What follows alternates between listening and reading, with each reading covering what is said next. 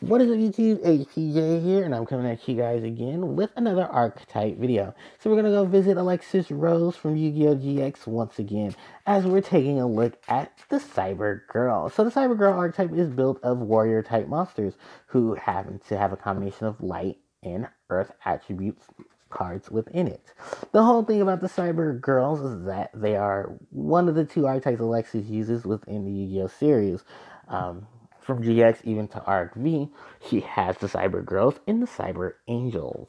The Cyber Girls are pretty much her warrior base, while warriors are known for being strong and courageous. The Cyber Angels are all goddesses, and they have a very holy like in appearance to them, for they are based off of Hindu and Buddhist gods, while the Cyber Girls are more based off of warriors in the aspect of being a um, being a gymnast or a rhythmist uh, for the most part. Very sports like things within the Cyber Girls. So we'll be taking a look at the Cyber Girls and all of the sport, all the cards that make them up from the Yu-Gi-Oh! GX series. And we have to start off, of course, with Alexis's ace monster of the Cyber Girls. This is Cyber Blader. She's a level 7 Earth Attribute Warrior type monster. She has 2100 attack, 800 defense, and her materials needed for her fusion summon are the beautiful Cyber Blade, the beautiful Blade Skater, and Etoile Cyber. So, a fusion summon of this card can only be done with the above fusion material. This card gains the following effects depending on the number of monsters your opponent controls. If your opponent controls one monster, this card cannot be destroyed by battle. If they control two, double the attack of this card. If they control three, negate the effects of cards activated by your opponent. The Cyber Blader just like many cards in the Yu-Gi-Oh series, did have to be altered for, of course, this is a more kid-friendly, in quotes, game so a lot of her artwork had to be switched up. This monster is known as one of Alexis's aces for the fact that in the Yu-Gi-Oh series, she does summon this before turning into a white um, part of the Society of Light, where her deck became the uh, the Ice Kingdom, uh, also known here in the CCG as the White Knight setup. And then there's the Cyber Angels, who she gets later on within the last parts of the Yu-Gi-Oh! GX series, and then and then while she's in in the Arc V series, they gave her even more support.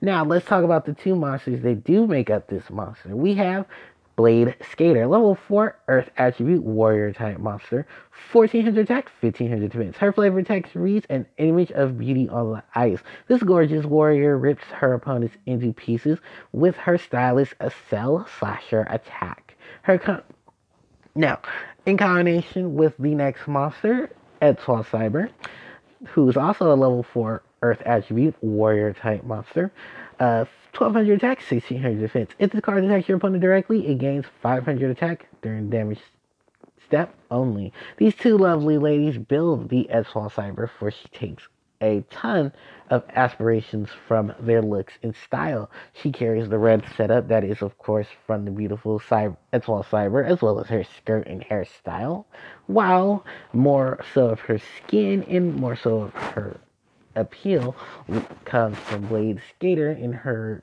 look in her setup for her attacks. Um, Cyberblader, for the most part, Blade Skater and Etoile Cyber were mostly seen from Alexis during that beginning stages of the Yu-Gi-Oh! GX anime. Now, we also include three more of the monsters that were included into that.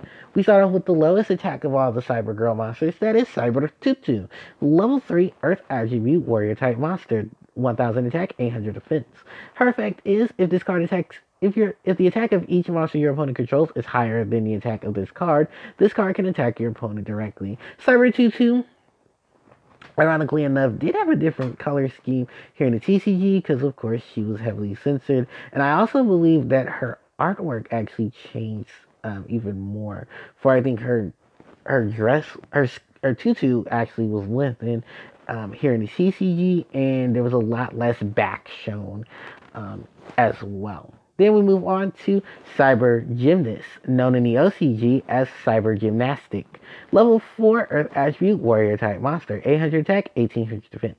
Once per turn, you discard one card, target one face up monster. One face up attack position monster your opponent controls, destroy that target. Then we have Cyber Prima, level level 6 light attribute warrior type monster with 2300 attack, 1600 defense. When this card is tribute summon, destroy all face spell cards on the field. Cyber Prima does have a alternate full, I mean, does have some artwork in the Yu-Gi-Oh anime where there is a card called Prima Light. Uh, you tribute Cyber Tutu to summon Cyber Prima from your hand um, to the field if you control a Cyber Prima, if you control Cyber Tutu on the field. Uh, in correspondence with this, this is one of the few light attributed warrior monsters in the Cyber Girl archetype. Uh, which does combine really well with the Cyber Angels for she's light attribute as opposed to being um, Earth. Then the last monster is Cyber Tutubon. This is one of the newer monsters uh, for the for the Cyber Girl series. She's an Earth attribute level 5 warrior type monster with 1800 attack, 1600 defense. Her her effect is you can special summon this card from your hand by attributing one warrior or fairy type monster from your hand or field. If this card is attributed for a ritual summon, you can target one ritual spell card in your graveyard and add it to your hand. Giving her the appeal, she does look like a like a angel, more so of a fairy. But because of her outstanding look in combination, she is a warrior, and she is the conjoint. She's the joining parts between both the cyber angels and the cyber girls. For her being a warrior type monster, she can contribute a warrior or a fairy for her special summon and be able to grab a ritual spell if she's used for the tribute of a ritual monster, giving her that even more of a combination edge.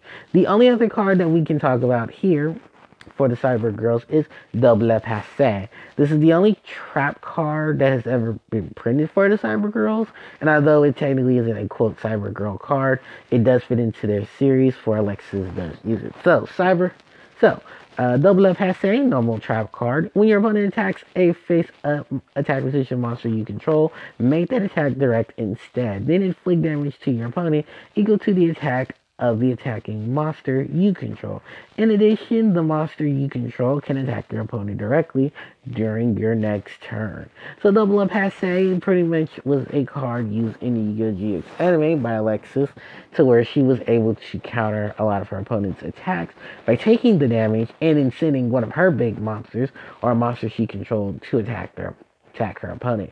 She first used this card actually against Jaden in their first duel, where she used this in card combination with Etoile Cyber. For when Jaden attacked Etoile Cyber with Sparkman, she triggered Double Up Passe, making Sparkman attack her directly. Then she had allowed Cyber Blade, Etoile Cyber, to attack her opponent directly, inflicting damage to Jaden and then triggering her effect. For the most part, that is all of the Cyber Girl cards, and accessories that we really have to talk about. Um, this is a very short video, but I do thank you guys so much for coming and watching, and I hope you guys enjoy the Cyber Girl archetype. I will leave a link to the Cyber Angels in case you guys want to see that. And I thank you guys so much for watching. Don't forget to like, comment, share, and subscribe, and I'll catch you guys next time. HPJ signing out. Take care.